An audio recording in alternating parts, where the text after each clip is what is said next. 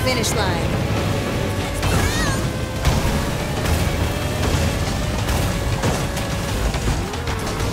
Coming at you full speed.